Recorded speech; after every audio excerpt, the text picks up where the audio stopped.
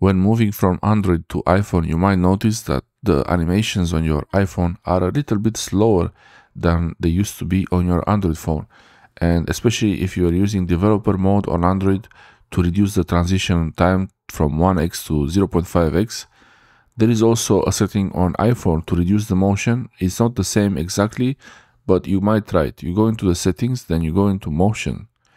And in motion, you can enable the setting reduce motion. You can also enable the prefer crossfade transitions. And now you see after I was using the iPhone before you would see the animations, now it's mostly doing a crossfade. This is up to you if you prefer it like this.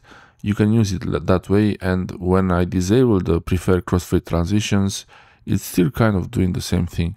And when I disable the reduce motion now, the animation starts to, you see, it's doing this animation it's still not as fast as you can get it on Android. You can even disable it on Android, but this is as good as it gets for now at least. Thanks for watching. I hope this helps you reduce the animations on your iPhone.